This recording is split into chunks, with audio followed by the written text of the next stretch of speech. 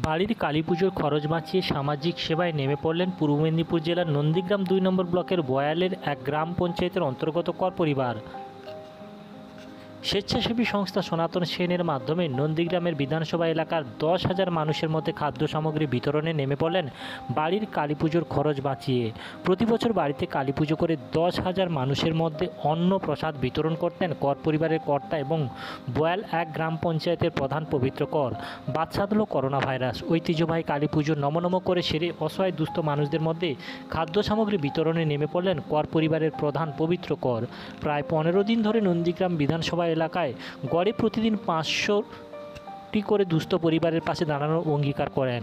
সেই মতো স্বেচ্ছাসেবী সংস্থা সনাতন সেনাকে নিয়ে দীর্ঘ পনেরো দিন ধরে লকডাউনে দুস্থ মানুষদের মধ্যে খাদ্য সামগ্রী তুলে দিচ্ছেন। আজ অসহায় টোটো চালকদের আড়াইশো পরিবারের মধ্যে খাদ্য সামগ্রী তুলে দিলেন। কর পরিবারের কর্তা এবং ভয়ানক গ্রাম পঞ্চায়েতের প্রধান পবিত্র কর বলেন, সেবা হলো পরম ধর্ম। করোনা ভাইরাসকে আমরা তাড়াবার অঙ্গীকার করেছি। পাশে আছি ভাই লকডাউনে অসহায় দুস্থ পরিবারদের পাশে আছি থাকব। ঠিক আছে। আমরা নন্দীগ্রাম বিধানসভার উপরে সমস্ত যারা দুস্থ মানুষ আছে তাদেরকেই আমরা দিচ্ছি।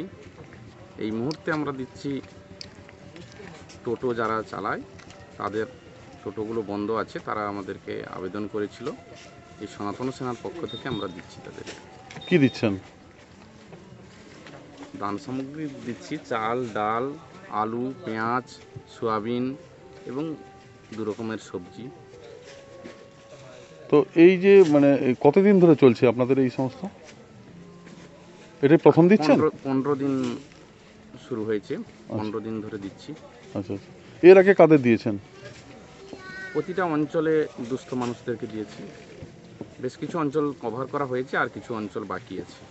আজকে কতজনকে দিচ্ছেন? আজকে সকালে আমরা বিরুলিয়া গ্রাম পঞ্চায়েত এলাকায় যে সমস্ত দুস্থ মানুষ আছে তাদেরকে দিয়েছি। আজ বিকেলে দিচ্ছি টোটো ভাইদেরকে দিচ্ছি। কতজনকে দিচ্ছেন? আজকে টোটো দুশো তিনজন আচ্ছা আচ্ছা। আপনার নাম কি? পবিত্র কর। ডেজিগনেশন?